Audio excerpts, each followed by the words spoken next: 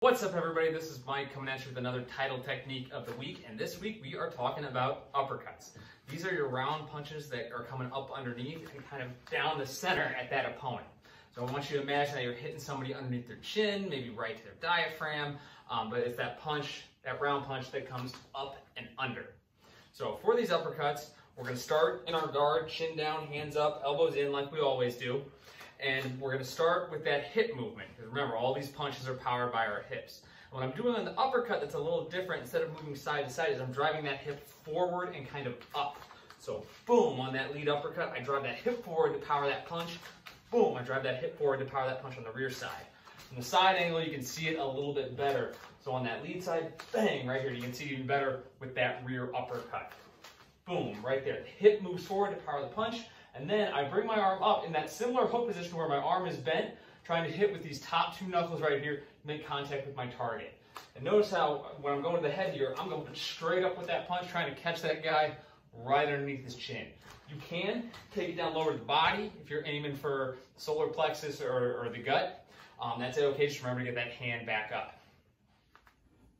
All right, so for practicing uppercuts, I like to use the aqua bag right here. Um, when I'm using the aqua bag, what I'm trying to do is get underneath that bag and come straight up. Again, driving that forward to power that punch. If you get a chance to try out the aqua bag at the gym, definitely give it a shot. It's a lot of fun. However, I know we only have one of those, so I'm gonna show you what uh, how you wanna practice your uppercuts on uh, the Thai bag here. So you, you have a couple of options. The first one um, is if you're going to the chin, you can just miss the bag if you're trying to come straight up. So boom, right there. Almost trying to skim the surface of that bag. Um, this works different muscles than if you're connecting, something to try out.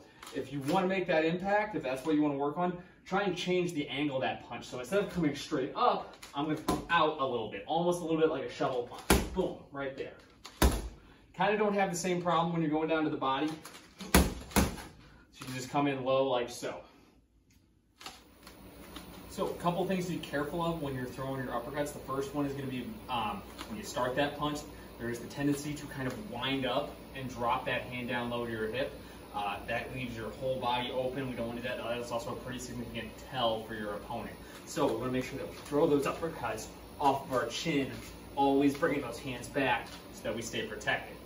Um, the second thing is going to be keep your stance when you're throwing these uppercuts. Whether you're throwing it on, on a combo or you're doing a burner, try and keep that stance because again, all that power comes from that hip turn. So what I see a lot is, on, especially on burners, is folks will kind of straddle the bag and come here. I lose a lot of power and we never want to have a stance that's, that's that square because we get thrown off balance very easily. Uh, part two of that is we want to keep those uppercuts out in front of us. Again, with some of those burners, the tendency is to come back here where that arm is hyperextended back, which is not a great position for your shoulder. So kind of keep those punches out in front, out in front, keeping that good stance on those burners. All right, guys, that is the uppercuts. Give it a shot. Show us what you got. Uh, tag me, tag Title Maplewood. Leave any questions you have down in the comments, and I'll see you next time.